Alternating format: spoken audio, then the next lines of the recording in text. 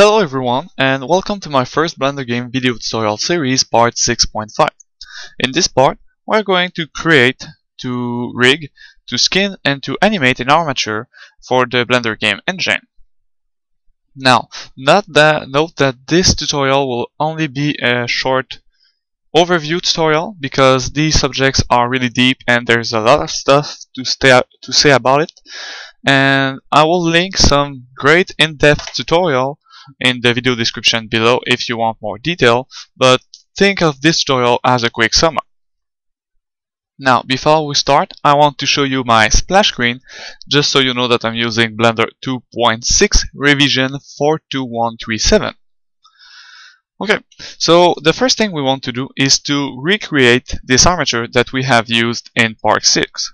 So in order to do that, I will have to press, oh, first of all, let me print my screencast key and I'll use a font of 30, mouse of 80. Here we go.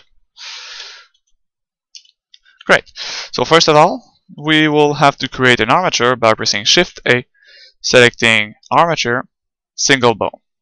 Now, you can see that doing this created, created us a bone, but you have to understand that this bone is not the armature. It is, it is only a part of it. And you can see that if I go in edit mode by pressing the tab button, then if I press the N button to open my menu and other item, you have the name of the armature and the name of the bone. And if I press E to extrude another bone from this bone, you can see that we now have bone.002, bone.001, and bone that are all part of the same armature. Now, in the edit mode of an armature, it is working differently from the edit mode of any other mesh object that you were used to work with. However, most of the tools still work in a similar way. For instance, the E key for extrude work as it would work normally in the in the normal view. You can subdivide a bone the same way you would do in the standard edit mode.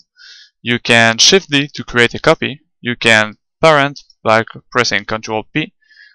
And you can unparent by pressing Alt P. Parenting don't seem to do any difference uh, while in edit mode as you can see since I can move this bone without him following it following. However, if we go in pose mode, that is the mode using for animations, you can see that the parenting does make a, an effect. Okay, so that's how to create bone in a nutshell. Let us recreate this armature that we have here. So to do that, I'll press Z to enter in wireframe view, grab my bone, and drag it where my other bone was. Shift D to duplicate it, rotate, oops, rotate 90 degrees, grab,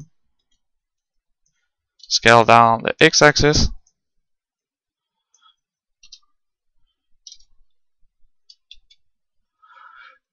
move it, shift D to create a copy, move it out the other way. And if you rem remember correctly, we had this controller bone here, and I do it, and I'll do it by pressing Shift D, rotate it 90 degrees. And instead of scaling I will drag this top here and I will put it down. Now at this point you should have noticed two things. The first one is that we have some kind of pyramid object instead of cubes.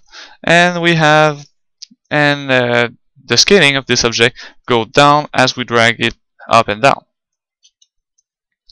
and to fix that, to change that in fact, we will go to this armature button here, panel, and under display we have all these options, octahedron, stick, b-bone, envelope, wire, and this is it. This is it. Now, the one we want to use is is b-bone, and I use it as a prefer personal preference. However, b-bone has a unique ability that is to scale the object um, only for the size without affecting the skinning and we will talk about the skinning later. And you can do that by pressing Ctrl Alt S and you make the bone bit more visible. Here we go. Now you have to understand that this is only working for B-bone. As you can see if I switch between the other side, uh, the other style, types, yeah, types, if the other types. And the last thing we need to do to recreate the armature we had in part 6 is to select our bone, then our controller bone. Hmm, controller bone must be centered, like this. Our bone, then our controller bone, and finally the controller bone. Press Ctrl P to parent it, and we want to keep offset, so that when we go in pose mode, we can move all the armature by moving only one bone.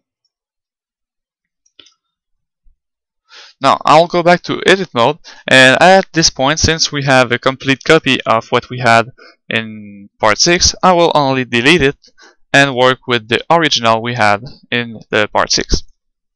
So this was how to create an armature. Now we need to know how to skin it. Now what is the skinning? Well skinning is telling each vertex what bone it should follow. And you can see that if I go in edit mode, then grab this bone and move it this way, you can see that these vertex here, the two vertex that are here, are following the bone that I'm dragging, but they are also following this bone right here, so they are not completely moving like the other the other vertex on this feet. And at this point, I will press Ctrl right up arrow to make my screen go bigger, go bigger, and and now in order to fix that, to, in order to fix the fact that these vertex are not following the bone as we want, we need to go in weight painting mode. And to do that, we need to select our character and press Ctrl Tab arrow to go in weight painting mode. Or we can simply press this button and select it. In this mode, you can see that sorry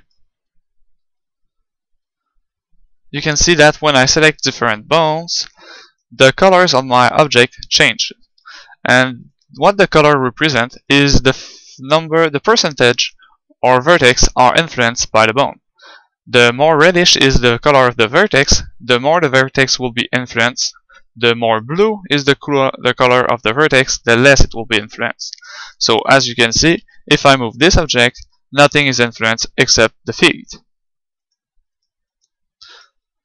However, if I press on this one, you can see that these vertex are some kind of blue, so they are not completely affected by this bone. And we want to fix that as we want to make them completely red. And to do that, we need to press the T key to make our, or brush tool appear. And in the brush tool we have multiple tabs, but the only one we want to focus on is the brush one. And in the brush one we have this big button here that let us select what kind of brush we want and we will use draw as it will work correctly for, for us for this tutorial. We have the weight here that indicate what color we want to paint on our object. A weight of 1 is completely red, a weight of 0 is completely blue.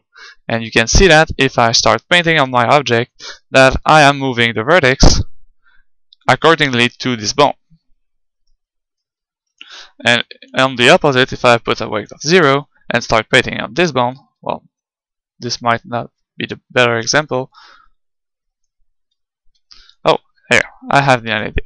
If I start painting on there, then I put a weight of 0 and start of painting back, you can see that it removes colors.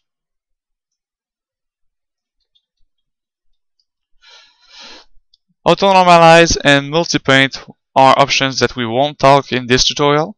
The radius is only the radius of your brush.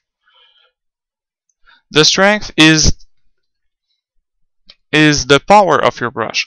The more the strength is high, the more you will put the weight and the lesser, the less influence you will have. So for example, if I paint with a weight of a strength of 1 and a weight of 1, we will go to instant red or almost. But if I start to paint with a weight of 0.3, we will only go to a light blue because our strength is lower. And we won't talk about the jitter either. So, at this point, we want to paint in red this point, this vertex for this bone. So I'll take a weight of 1, a strength of 1, and I'll start painting on them. Oops. And at this point it might be hard to see where are your vertex, so what you can do, you can press the Z key and you will have a better vision of what is going on. And, and now, as you can see, even if my object is completely painted red, we still have this ugly deformation here. And to fix that, we need to select this bone, because this, as you can see, this bone is affecting this vertex also. And we want to make these vertex blue because we don't want this bone to affect this vertex, so we'll select a weight of 0, and we'll start, we'll start to paint. I think the right, the right term is vertices. Yeah, probably. Yep. And everything seems correct to me. And now that it is done, we can select our bone, start moving, and as you can see, everything is moving correctly. So I'll press Alt G to nullify the, the grab, and you can do the same shortcut for the rotation, Alt R, or the size, Alt S. And now our object is correctly skinned.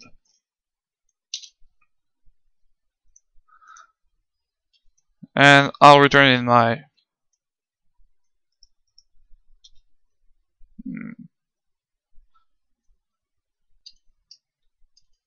I'll return in my original display because we now want to animate this object. And I'll try to select my armature and here it is. Go in edit mode, pose mode, and we can start to animate. Now, we have already do this, so I'll just repeat it shortly. To animate, you need to go in your dope sheet, create a new action by pressing this button, name it as you want. I'll name it tap. Select a bone, go to the frame you want the uh, animation to be, and insert, make the change, insert the keyframe. Go to the frame, make the change, insert keyframe, and go to the frame, make the change, insert keyframe.